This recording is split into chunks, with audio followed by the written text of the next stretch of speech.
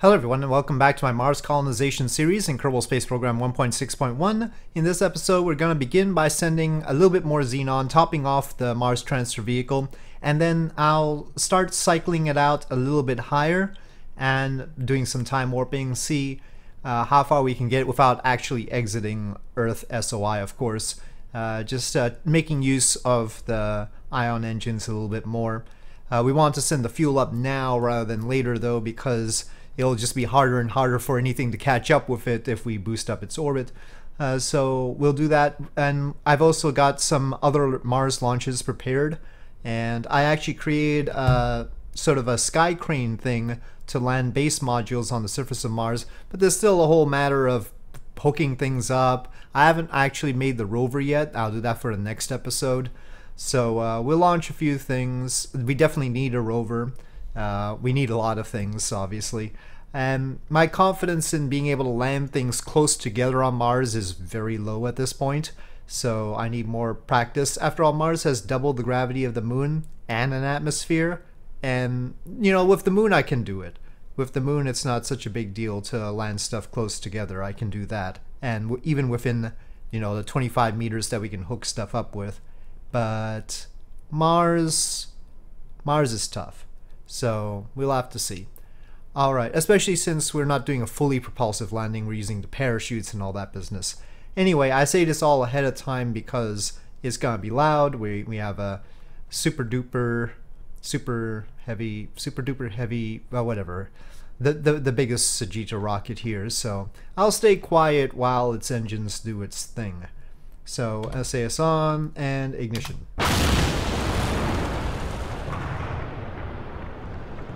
And launch. That's quite a... Oh, it's got a little bit of rotation there. We'll be sending some spare Xenon tanks to to Mars as well. I think that would be prudent having some floating around. I tasted, uh, tasted. I tested some inflatable heat shields uh, during a live stream around Mars. If we go, if we approach Mars too fast, they seem to blow up. But if we go on a fairly slow cargo trajectory, like take 200, 200 to 300 days, it seems to be alright uh, to capture uh, Mars with one of those. So, and we have to use an inflatable heat shield, because nothing else will fit in this fairing. It was a suggestion from Mikko that I create a larger upper stage. Of course, currently the logic behind our stages is that they are all the same diameter. In fact, even some of our HABs are the same diameter because they're based on the on the tanks. And that diameter has been limited by our transportation facilities. This is the largest diameter you can carry on trains and trucks and such. It's the same diameter that Falcon 9 is for the same reason, and also the shuttle SRBs, same reason. So, yeah, I've, I've, but ultimately, I suppose we're going to have to come up with a larger system. I'm somewhat tempted to do a whole Saturn 1 thing, and core ignition.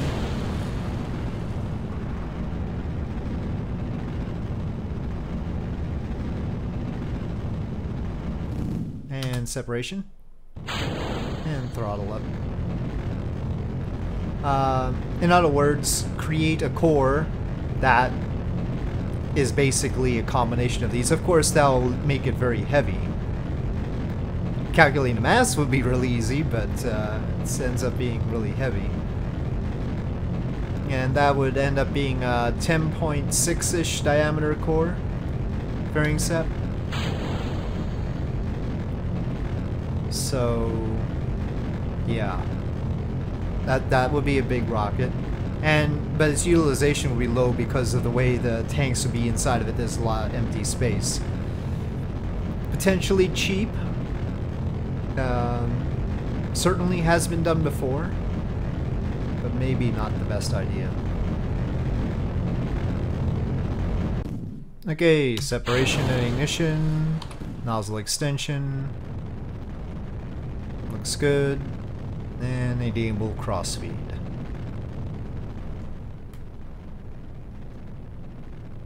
And shut down. That's basically what I wanted. Alright. Let's head on out there. Well, technically let's head on to this ascending node right there. And then we'll correct a bit of stuff. Okay, well, 15 meters per second is a lot to do with these little thrusters, so I'm gonna quickly pulse the engine.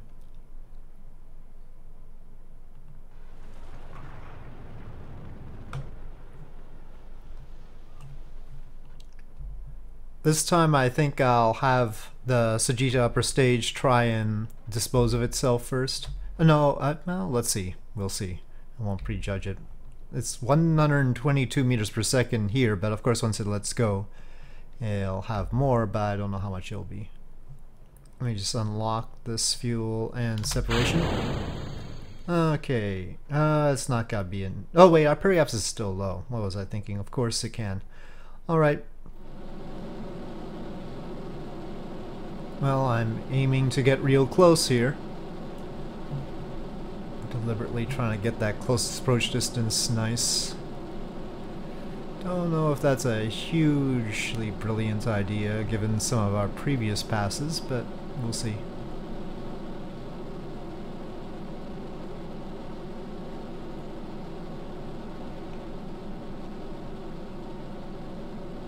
This camera's not making me happy.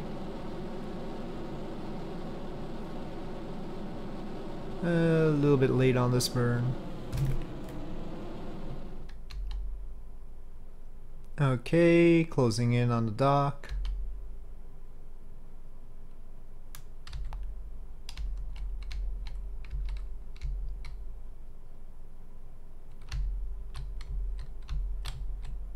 Okay. Alright, transferring the xenon gas. Alright, well there's a little bit that we can't transfer. How's its methane and oxygen doing? It's got, it's got some. That's the best I can say. Okay, well let's deorbit this fuel delivery tug. Ah, uh, it doesn't have enough to deorbit anymore.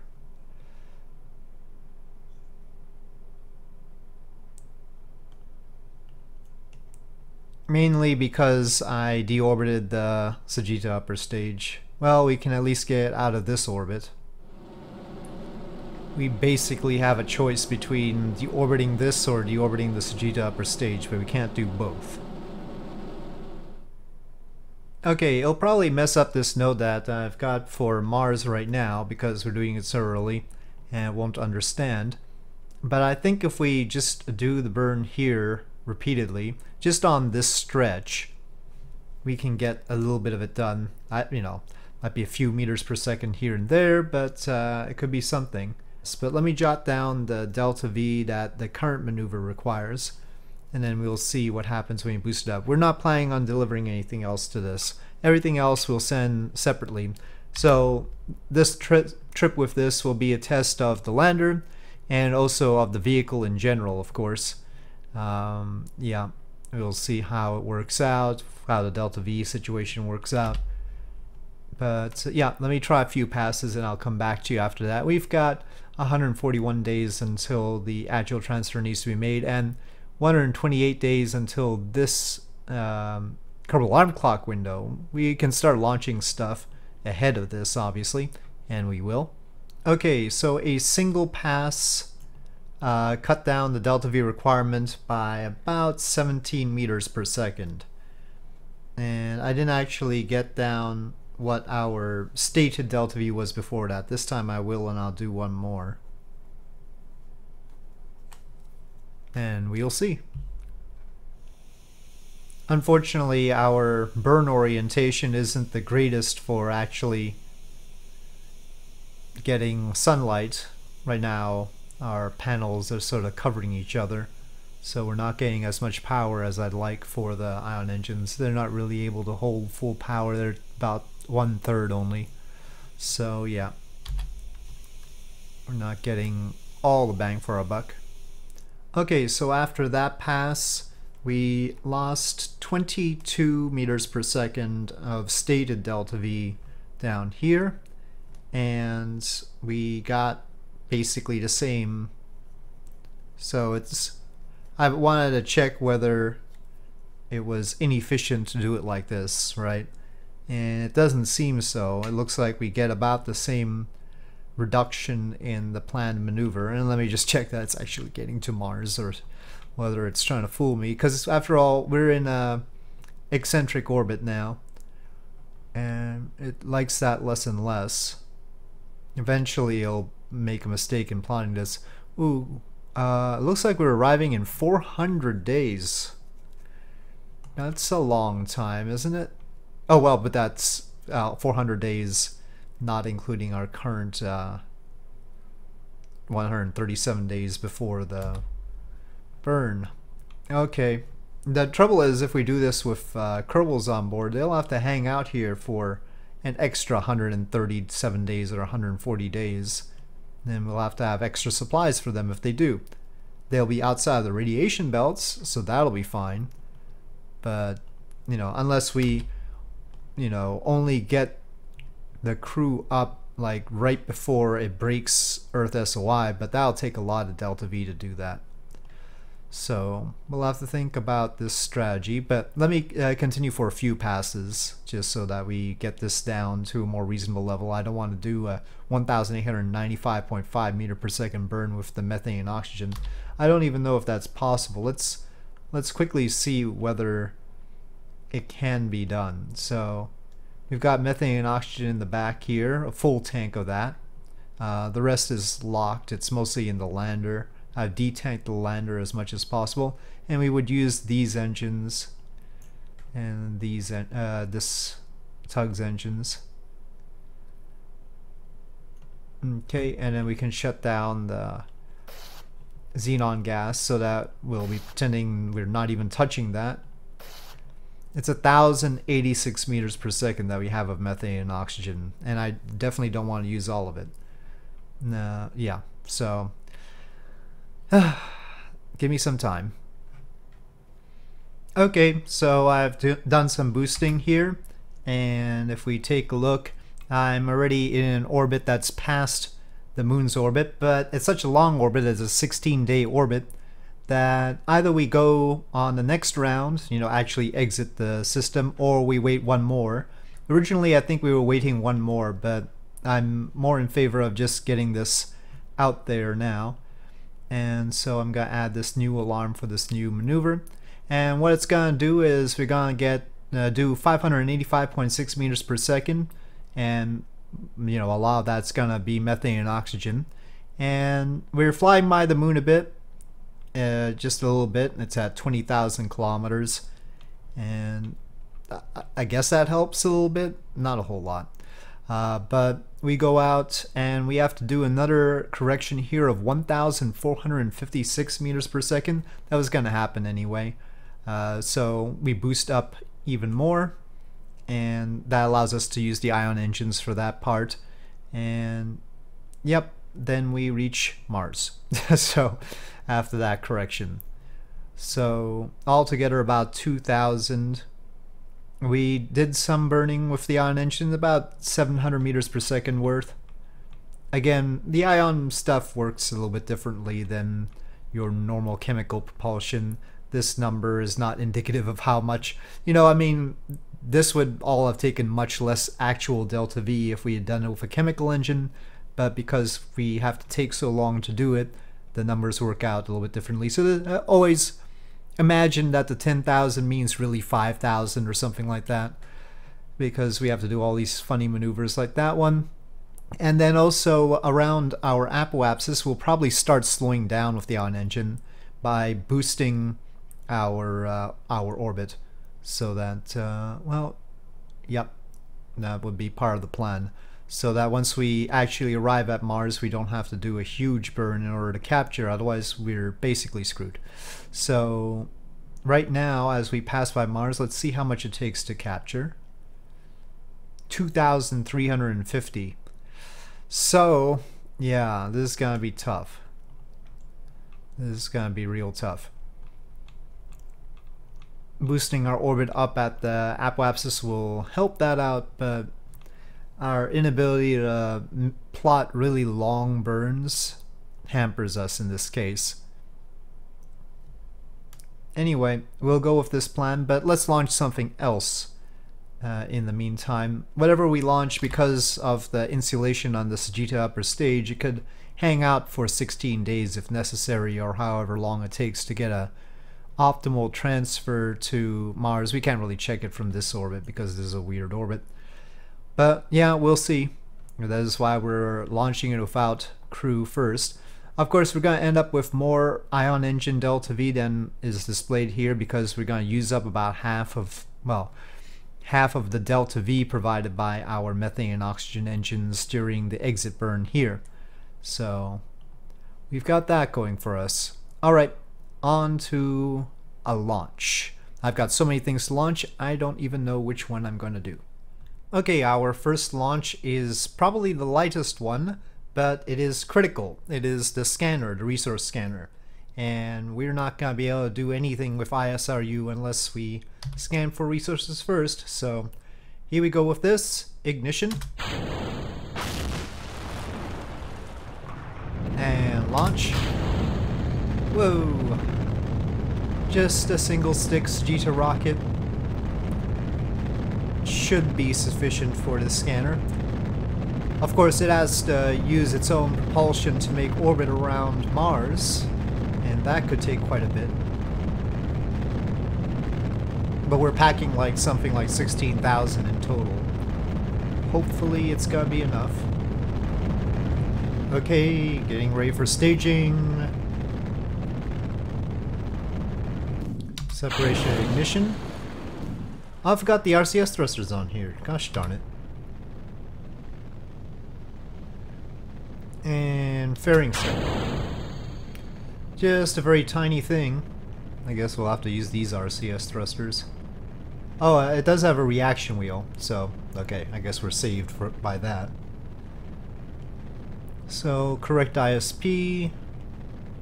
We can throttle up, I suppose.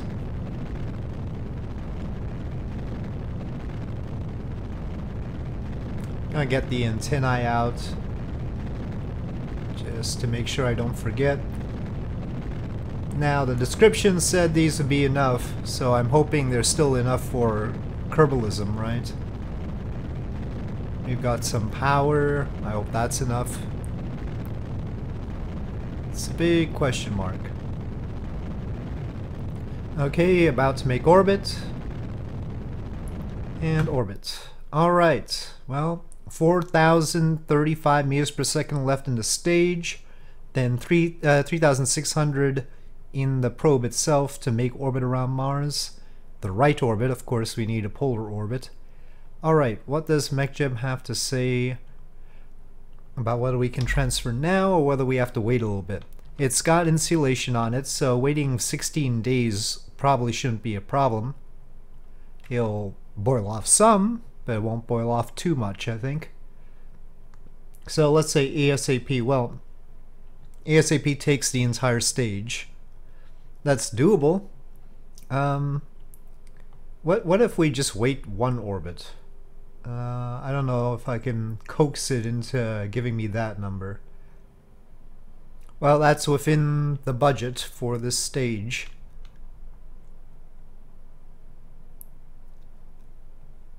Gets us there in 330, basically the same time as the Mars transfer vehicle. The transfer is pretty consistent because that's where the ascending and descending nodes are.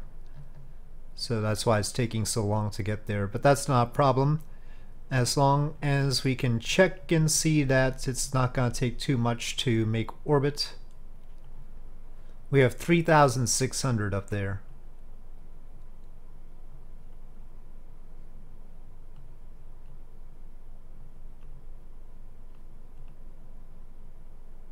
Basically, that's what we can do. Hmm. Well, maybe we need to try something. Maybe we'll, we should send a backup. We could send the backup to Phobos and Deimos if it turns out we don't need it, but maybe later on in the cycle, closer to maybe after we launch the Mars transfer vehicle on those nice blue splotches on the pork chop plot, we'll send another one of these. Anyway, we'll do this first. Well, the reaction wheel is good enough to point us at the node and everything and at the sun while we were in orbit for 13 hours, but it can't really, well, if we wiggled enough, it would be able to settle the fuel down, but uh, the reaction wheel is not powerful enough to settle the fuel down even by wiggling. So, um, staging the RCS thrusters on the probe and RCS on. Well, at least we know that the probe's RCS works. Now, is it strong enough to settle the fuel down on this? I mean, these are really tiny thrusters, 45 Newton class. Then again, the RCS I normally put on this stage is uh, 100 or so newtons each. 400 newtons altogether when actually trying to sell the fuel down. This is there's just two of these RCS quads and so that's just 90 newtons. We'll see how they do. I've given oh it's it's working. Well, RCS thrusters are not doing too badly. I mean, look, uh, better than ion engines.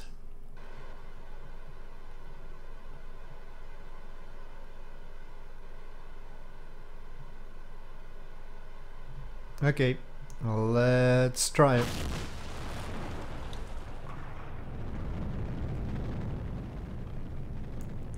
Oh, too fast. E Oop, oh, oh, it went by. It went by. I saw it. It went by. Okay. Um, it, I think it, no, that's probably just the plot. Okay, that's what we've actually got going there. I'll get rid of the orbital burn. Um, yeah, I guess we can just dump this stage. Oh, it's out of fuel anyway. I throttled down exactly when it ran out of fuel. Alright. Um, yeah, separation. Okay.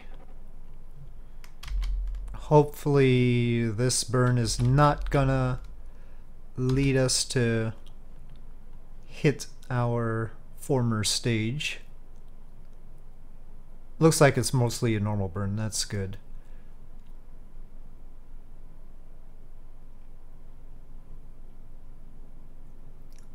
Okay, let's check if this little thruster works, if I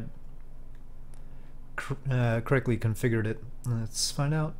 Well, I mean, it wouldn't show delta V otherwise. Ooh, its flame is weird, though. Not quite as low as I wanted, but I guess we can fix that when we get there. So let's get the definitive results. We do a little bit there we can get it somewhere like that. Maybe a little bit tighter. But anyway, something like that. Okay, so we'll get that maneuver into Kerbal Alarm Clock, and we have our first oh, we have our first mission to Mars on its way. So, but we're gonna have a pretty busy window with a lot of Kerbal Alarm Clock alarms. Let's get the next one up. Okay, next up is a USI Pioneer module that we're going to try and land on the surface of Mars. It's got supplies, it's got about 180 days of supplies, including the nitrogen for pressurization and lithium hydroxide for CO2 scrubbing. And it has uh, space for two Kerbals, technically, but we're not saying the Kerbals along, there's just a test. It's got full shielding, and uh, the Pioneer module is lighter than some of the other modules, that's why we're sending it first. Um, the heaviest one I think is the Kerbitat module. Um, and compared to how USI usually is, uh, I scaled the dimension up by 1.6 and the overall mass by 2.56, assuming a square of the of the diameter. And that's because we're assuming that it's just the surface, the outer surface area of it contributing to the mass. So yeah, um, I don't know if that scaling is great, but in any case, it's reasonably well. It's not reasonable. It's actually pretty light, to be honest. Um, but it's heavy enough. Let me put it that way. Especially when it's got the supplies in. Uh, the dry mass of the payload is 8.8 tons. Okay, so I, I don't feel like it's it's a bad deal. Anyway, let's get on with it, and then I'll talk more about it along the way. SAS on, throttle is up, ignition. A Sagitta super heavy as you can see. And launch.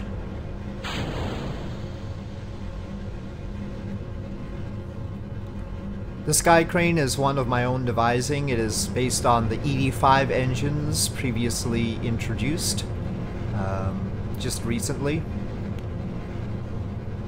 ED5 engines being uh, Methalox engines that are gas generator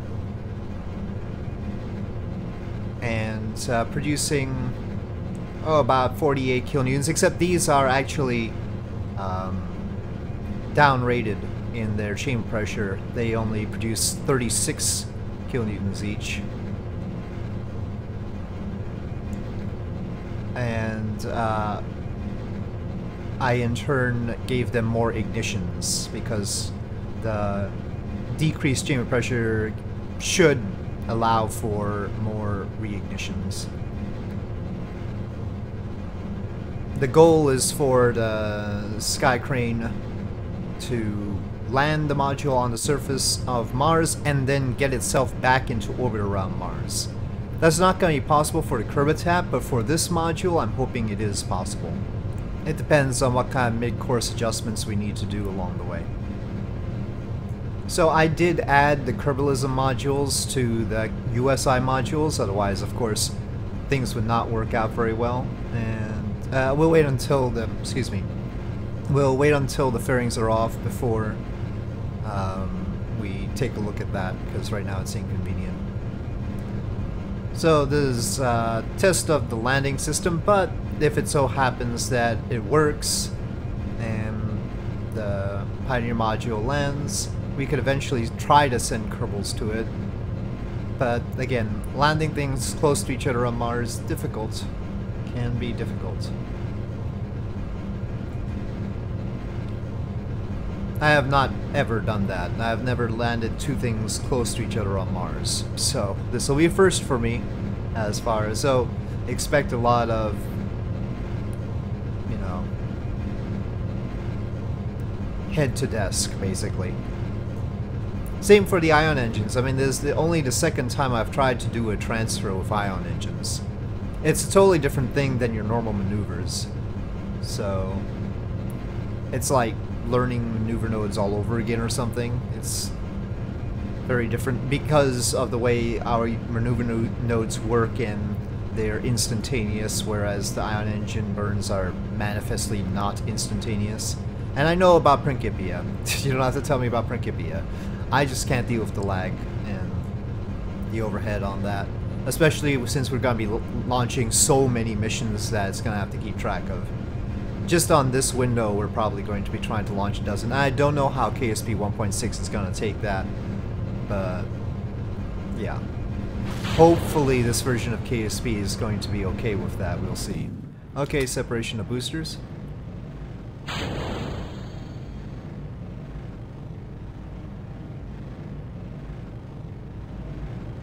Okay, um... Now you'll... I was thinking about fairing separation, but maybe we'll wait you'll notice that the USI modules start clipping into the fairing. I've tested that, it seems like it's not a problem, uh, but that is a bit unsavory. The decision to scale it by a factor of 1.6 is sort of a Realism Overhaul standard. Basically, the 2.5 meter tanks become 4 meter tanks, and the 2.5 meter pods become 4 meter pods because that was the size of Apollo, 4 meters, really 3.9-ish, but... Um, so that's why there's that scaling 1.6. So basically, instead of 1.25, 2.5, 3.75, and 5, you get 2, 4, 6, and 8. Um, but the clearly, this Pioneer module is a bit more than 4, because that's a 5 meter diameter fairing, interior diameter fairing. So, poking out I added extra stabilizers here, these wide landing legs. Because I'm pretty sure I'm gonna try and tip over on Mars, probably. And there's my uh, Sky Crane. Sky Crane Alpha, because I'm not 100% sure about it. Oh, you know what? I think I might have forgotten comms. Uh, oh no, I, I, take it back. It's got good comms. My mistake. I was like... No, I, I guess I integrated it. That's sort of cheaty. Uh, I, that's actually an accident. I copied the configuration and modified it from my own tugs. The tugs have a little antenna on the top, if you ever noticed. Um, this does not actually have an antenna model on top because I wanted a docking port there, potentially. I'm not carrying the docking port right now because there's no need, but... Um, yeah. Okay, separation and emission, nozzle extension.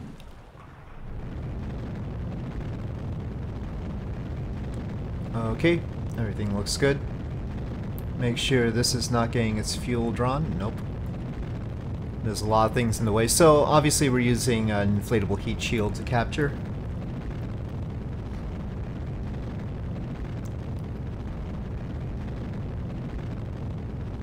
We were in a really bad orbit. I was talking away and not paying very close attention. You know what, let's just shut down and coast.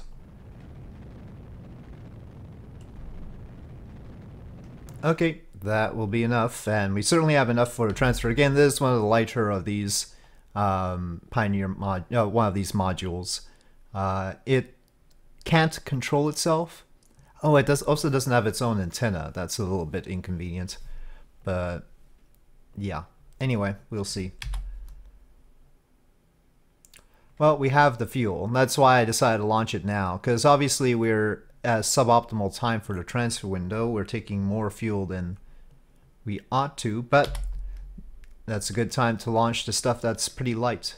Oh, uh, only three minutes to the node. Let's get prepared. So other than this, I mean, we've got all sorts of stuff we need to send. I want to send some tugs over. The tugs are really the best way to carry methane and oxygen anyway. And um, want to send ISRU units with the scanner there. We might, because uh, we don't wait two years for that business. So ISR units, all of this stuff will have to capture around Mars first and then pick a landing spot. Otherwise, it's not going to work. Oh, incidentally, these uh, conformal RCS thruster blocks are exactly the same as the thruster blocks on this same thruster blocks. It's just that those are covered up.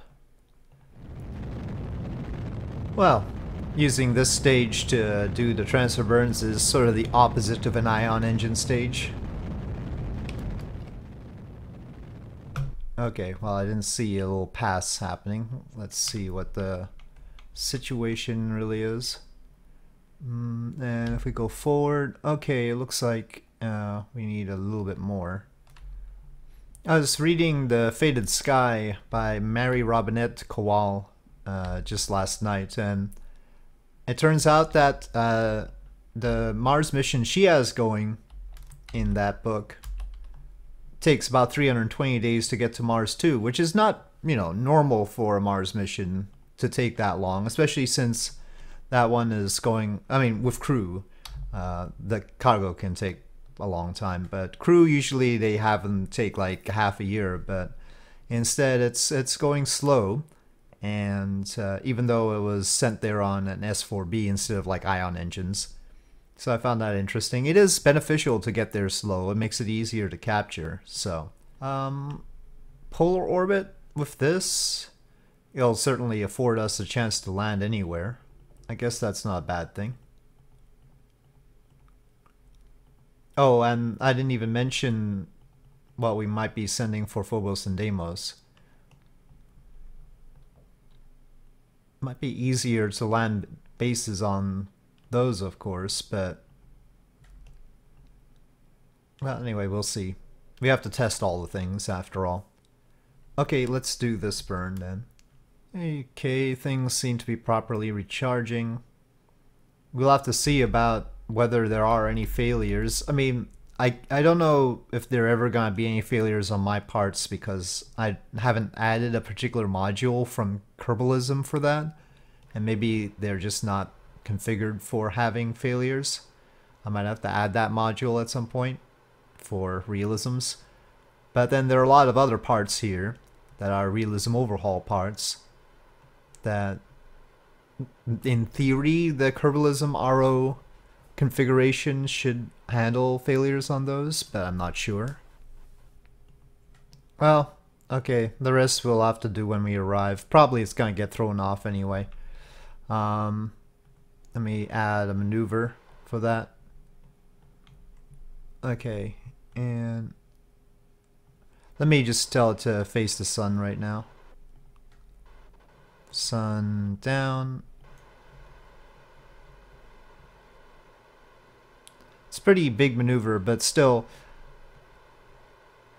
I put insulation on the tanks, and in theory, the 40 layers of multi-layer insulation should keep the boil off to only 10% for every six months.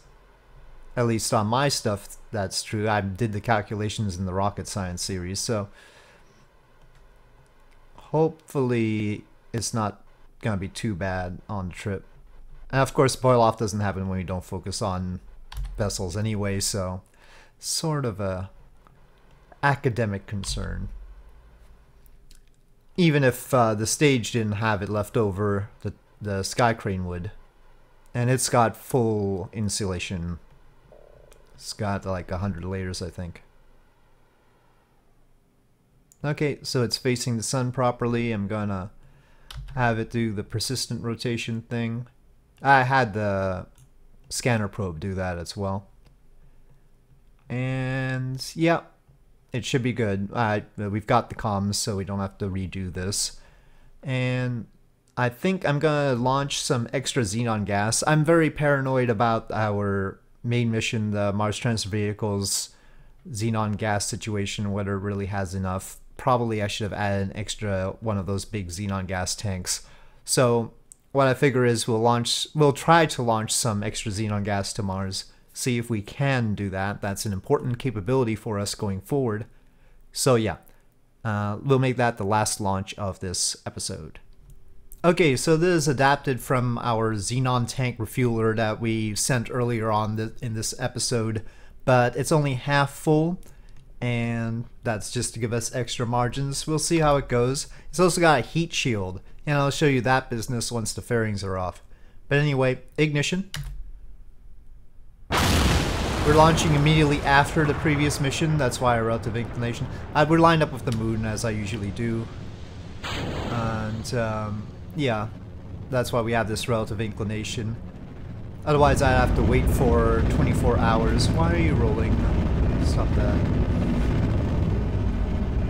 Well, one downside is on the previous launch we had a very nice sunset, but now we just have Venus over there.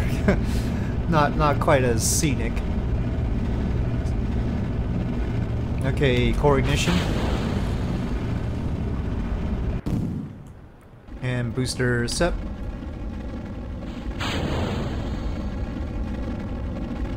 Alright, and fairing separation. So, here's what we've got. We've got the half-filled Xenon tank, we've got the tug, uh, one docking port, because obviously we would, whoops, we would need that if it actually wants to deliver it to anywhere, and then the, the inflatable heat shield, right? So... And then, of course, solar panels. We need those. And the tug has integrated uh, integrated comms and still a dish on top. Hopefully, I haven't forgotten anything. Well, this time I seem to be getting into a very, very tight orbit. Which would be good, because this stage is going to end up in orbit, I think. Unless we cut it just short. Okay, we'll, we'll try and deorbit it. And separation.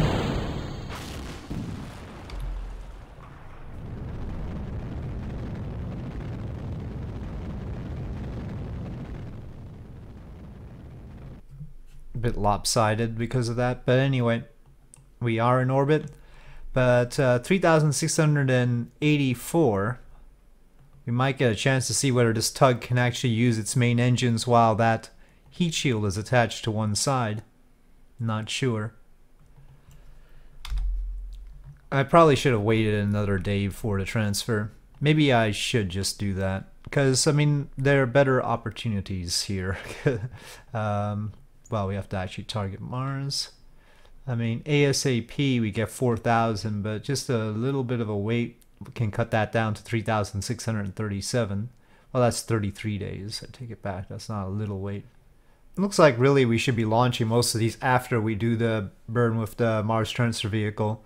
Maybe next time we'll start off with getting that out and then do the rest of this business because you take a look at all these departure times, it's like 25 days on through 50 days, right? Really, the sweet spot is over here in 34 days. Okay, anyway, but uh, yeah, we'll just uh, see if this tug can actually use its main engine. So I'll, I'll plot uh, ASAP.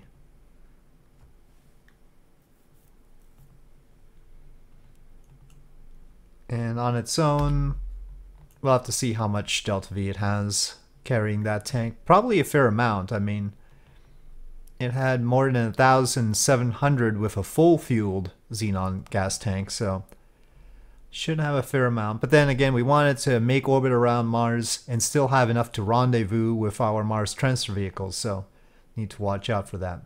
Anyway, uh, note in 12 minutes. Let's get the solar panels out. Hopefully I placed this in a balanced way. hmm. Seems good. Of course I used RCS build aid. But then I tend to change things like uh, I think when I used RCS build aid I had the solar panels on the top and I moved them to the front to better counterbalance the heat shield. Not that they would fully counterbalance the heat shield, but you know, just a little bit. The little engines do have gimbaling technically, so I don't know if the, how well that'll help them compensate, but maybe. And of course it has RC the rig has RCS as well. We'll see. Obviously if it doesn't work we're gonna we're probably gonna launch other ones of these anyway.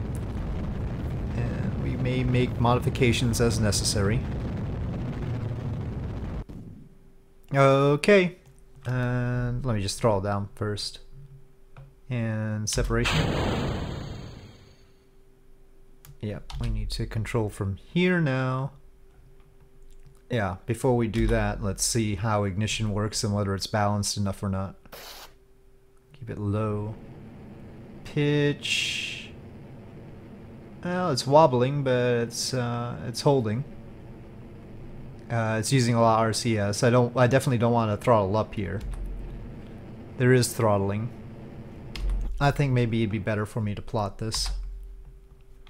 At least we know it can work. We want this in a flat orbit because our Mars transfer vehicle definitely will not be getting into a polar orbit. Ideally, we want to be in the same orbit as Phobos and Deimos. So, this side. 500 is a lot, um, but we'll do it. We'll do it. I think it's more than it was supposed to be. It probably will take some time. Please tell me it's not going to be horribly off. Oh, there it is. Okay. Well, we'll have to do a correction when we get there, as usual. We seem to be recharging, so I'll hold there. Okay, I have data from previous Mars attempts on... I mean, the important number is the mass on a heat shield area. And its area, it doesn't matter whether it's carrying a ablator or not. In this case, this heat shield does not carry a ablator, so it can't deal with really high reentry speeds. Yeah, it certainly couldn't deal with Earth reentry, but Mars has a thin atmosphere, and we're not going to be going that fast, especially not on a 330-day entry. So I did try it on a faster entry, uh, a 140-day trip, that it did not survive. So we need to be slower than 180 days to use this thing, basically. And uh, yeah, in this case, that should be fine. And yeah, the important thing is the area this provides, which is substantial, versus the mass of the vehicle. And then I have numbers on how deep into the atmosphere to go depending on the speed at which we enter Mars SOI. So all that's been written down. Hopefully that data will be consistent But for now, this, along with the rest, is departing Earth SOI, and we will add that node. And so next time, I think I'll start off with the Mars Transfer Vehicle, getting it on its way, and then proceed to launch more missions over to Mars, and there will be plenty of them. So thank you for watching. I hope you enjoyed this video. If you did enjoy this video, please do press like. If you have any comments or suggestions, please leave them in the comment section below, and I'll see you next time.